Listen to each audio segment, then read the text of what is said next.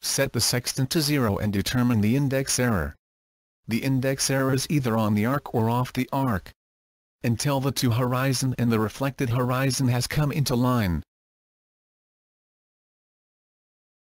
Set the shade glasses in place to avoid eye burns result.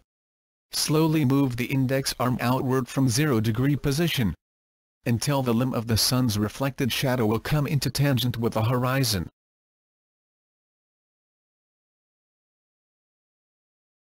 Gently swing the arc tangent to the horizon.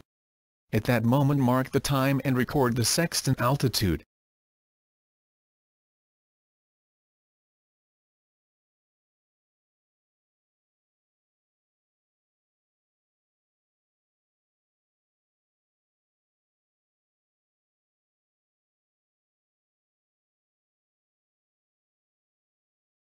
Thank you for watching.